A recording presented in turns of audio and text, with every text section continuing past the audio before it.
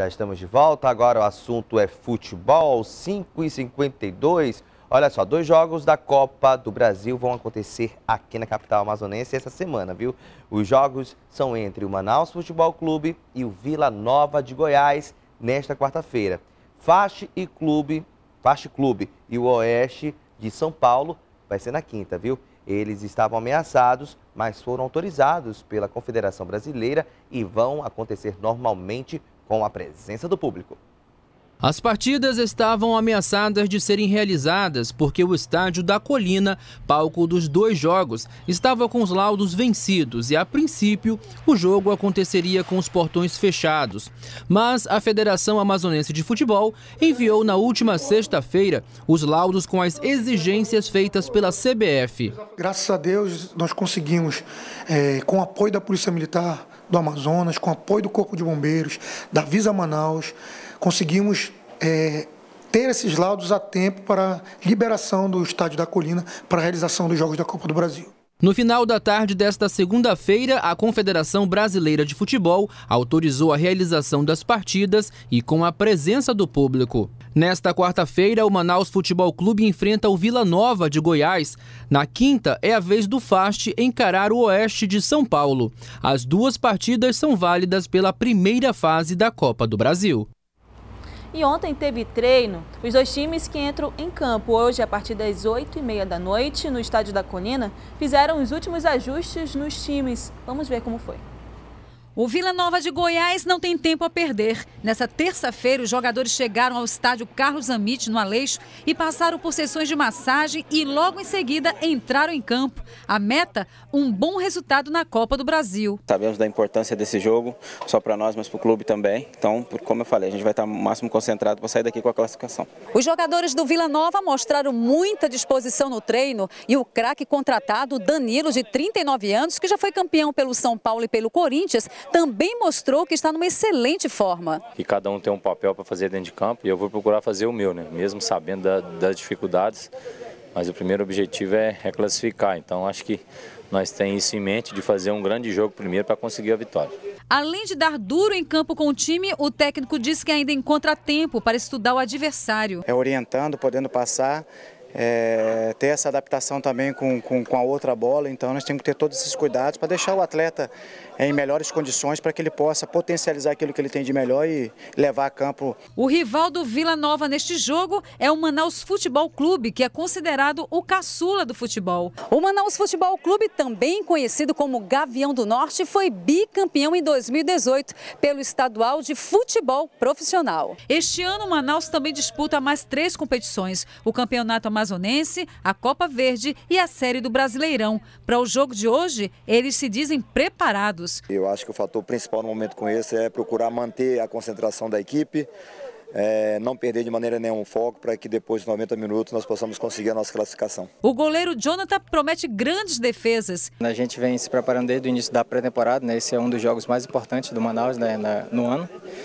Né, e juntamente com o professor Cavalo, Cobal e o Naná, a gente está fazendo uma preparação específica né, para esse jogo e a gente espera fazer um bom uma boa partida, né? E se Deus quiser sair com a vitória. O zagueiro Martoni também acredita na vitória do Manaus. É uma equipe onde vem numa crescente muito boa e a gente espera defender da melhor forma possível. Acho que qualidade a gente tem para estar tá ajudando os companheiros, então a gente vai tentar é, trabalhar da melhor forma. Bom, o Vila Nova está na vantagem nesse jogo de hoje. Se ganhar ou empatar, é classificado para a próxima fase. Já o Manaus Futebol Clube não tem escolha, é ganhar ou ganhar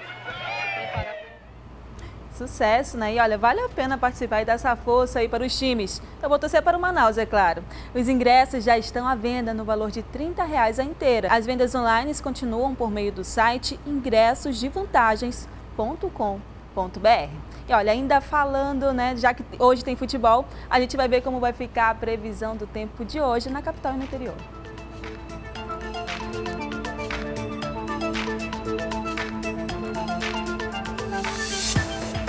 Em Manaus, o dia é de tempo nublado, encoberto com muitas nuvens, mínima de 25 e a máxima de 31 graus. No município de Envira, o tempo fica nublado a encoberto com chuva fraca. mínima de 25 e a máxima não passa dos 29 graus. Em Boca do Acre, a previsão é de tempo nublado a encoberto com chuva fraca, mínima de 25 e a máxima 28 graus. Em Manacapuru, o tempo fica encoberto com muitas nuvens, com chuva fraca, mínima 26 e a máxima 30 graus. Bruno? 5h57, agora vamos de cultura. Essa semana o Teatro Amazonas recebe um premiado musical da Broadway, só que feito por amazonenses. Urinal deve arrancar muitos risos da plateia, mas também passa aí uma mensagem sobre o uso consciente da água. Olha só. Um musical irreverente, mas com uma importante mensagem de conscientização. A comédia Urinal estreia a segunda temporada em Manaus esta semana e promete arrancar boas risadas dos amazonenses, além de ensinar o público a valorizar o uso da água. O musical brinca com os estereótipos, brinca com, pró, com, pró, com a própria estrutura do musical e tudo isso fazendo a gente rir e refletir ao mesmo tempo. O premiado espetáculo da Broadway é estrelado mais uma vez aqui no estado por amazonenses. O show tem conquistado muitos espectadores em todo o país. É dia 15 e 16 de fevereiro, no Teatro Amazonas, às 8 horas da noite, nós vamos apresentar Urinal Musical, o musical da Broadway, uma comédia premiada, ganhou Tony Award, foi, foi, foi feita no Brasil já, e agora está aqui em Manaus para todos vocês assistirem, e eu tenho certeza que vocês vão se apaixonar muito por essa história e por esse lugar e por esses mistérios que Urinal traz. Eu espero vocês lá. Os ingressos estão à venda na bilheteria do Teatro Amazonas e também no site que aparece no seu vídeo, além dos quiosques do Alô Ingressos espalhados em shoppings de Manaus. Aí, o Teatro Amazonas sempre, sempre trazendo grandes atrações culturais aqui para nós amazonenses, turistas. Isso é muito bacana. É, vale a pena conferir. O Anderson Tavares, que é o nosso cinegrafista, junto com o Valdir Adriano e, e, e, nosso, e o nosso Motora também, né? Eles sempre vão lá, conferem de perto, o seu Braz, aí essas, essas é, manifestações culturais, não é mesmo? Você é o nosso convidado a ficar junto com a gente durante todo o dia. Vamos encarar o dia juntos? É, fique de olho aqui na programação da nossa nova TV em Tempo. Daqui a pouco, às 10 horas, tem o Boletim em Tempo, às 10h15 o nosso Na Mira, 11 horas o Agora e às 5h20 o Jornal em Tempo. Você é nosso convidado a ficar de olho aqui na Nova TV. Bom Verdade. dia, né, Gabi? Bom dia para você. A gente te espera amanhã aqui no 6 Horas Notícias, 5 horas da manhã, não esqueça. 5 horas, a gente vai com imagens do Vou Levar agora ao vivo. Amanheceu, minha gente! Boa quarta-feira!